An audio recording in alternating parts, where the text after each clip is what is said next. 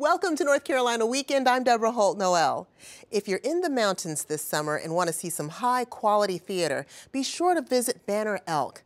Lees McRae College Summer Theater is producing three plays this summer, and the actors are already in full song and dance mode. Producer Julia Carpenter takes us along for a preview.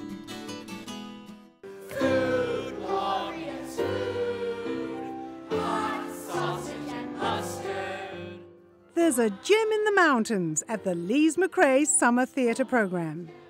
Dr. Speer, you created the Lees McRae Performing Arts Program and Summer Theatre Program over 35 years ago, and you've seen a lot of changes, I'm sure. I have. It's been a great joy, but please call me Doc because everyone on campus calls okay, me Doc. Doc. Okay, Doc. This summer we've got three shows. Oliver, which is a great crowd pleaser based on Oliver Twist, and Lend Me a Tenor, a farce, and then The Denim King, which was commissioned by me by the Blue Ridge Parkway Foundation, a big musical about the Moses Cone family. Great story. Well, people come from all over because they come to Banner Elk to get cool. And it's so beautiful up here, so they come from Florida and, and really from all over the country. It sounds like you entertain them all summer long. We do. And I think they're surprised that this little one stoplight town has a lovely theater. And, and they're so excited about that when they get there and they call us the little gem in the mountains, and that's us. Doc is quoted as saying, If you fall in love in the mountains, you will stay together forever.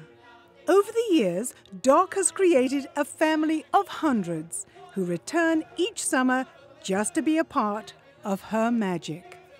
When you come to see a Lees McRae Summer Theater performance, you're going to see students, professionals, community people. You're going to see a wide variety of experiences and fun on stage, lots of different shows, and it's, it's just a wonderful experience for the summer. Lend Me a Tenor is a pure farce. It is anxiety, fun, frantic activity, mistaken identities, silly situations. It's just pure fun, and it's designed Why? just to make you laugh when you come to see it. Well, he likes, uh... Well, he wants some more, uh... Wait, is that normal? You tell me. Oh, eh? uh, I, I, I, well, I would say that it's a bit unusual. Mr. Merelli would like to have. Picture a ride in a carriage past acres of orchards with fruit by the ton. The final production this season is The Denim King from a book written and musical directed by Dr. Speer, with lyrics and music by John Thomas Oakes. A musical about a first generation Jewish American who gives back to the community.